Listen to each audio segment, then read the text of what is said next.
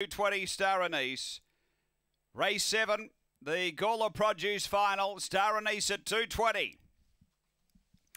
It's the fave off the rail. Light activated. We're set to run. Oakvale Beauty 280, the second pick.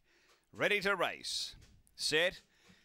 They're away. And off the inside, Star Anise flew out. Out by nearly two lengths in the early part in the produce final. Got away to the back by nearly three Oakvale Beauty. Uh, then Stitchem Siller and a couple away came Firetail. Then Quara's Flick behind those got by way a Mal. And Kisses for Clodagh, but down the back at it, Star Anise the favourite highballing. Out by six lengths, Oakvale Beauty. Uh, then came Stitchem Siller and next is Firetail, but on the turn, Jan Jones has got it parcelled up with Star Anise. Goes on and wins it by five lengths. Star Anise takes the produce. Second, Stitchem Silla getting past Oakvale Beauty in the last bit. Then Firetail, a gap away, got my way. Quara's flick from Alinga Mal and kisses for Clodagh. The run here is around, in fact, it's spot on 30 and 70.